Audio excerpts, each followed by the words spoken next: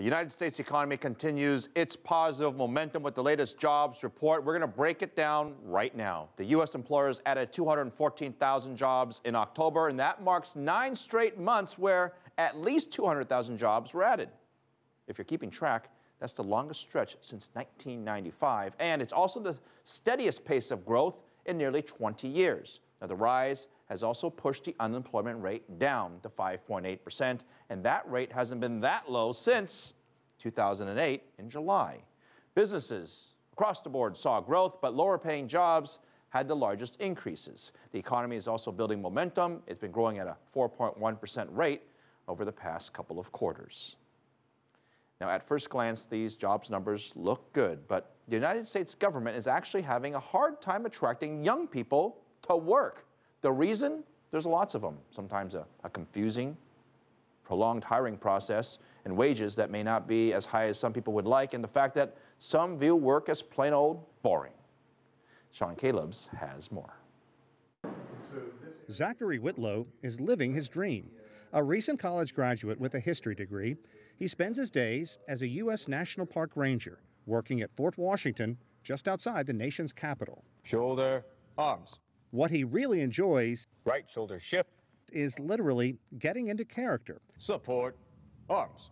As a Union soldier during the U.S. Civil War era.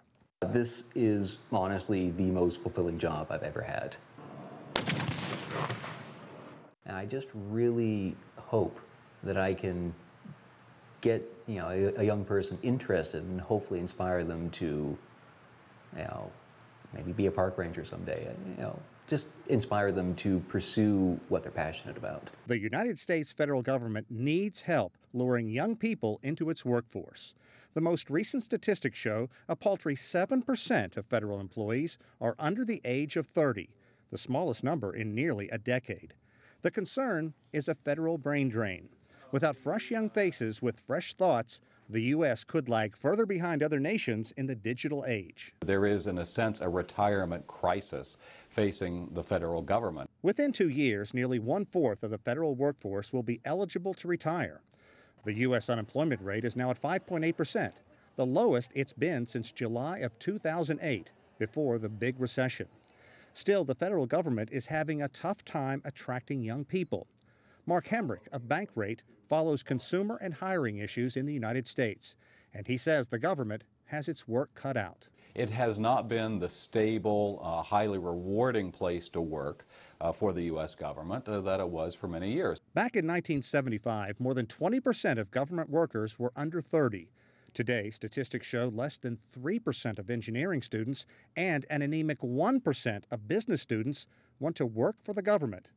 Some say the best hope is to cling to bright spots. If there's anything I love to do, it's, it's, it's you know, talk about history. And begin casting a wide net to avoid getting blown away by the private sector and advances by other nations. Sean Callebs, CCTV, Washington.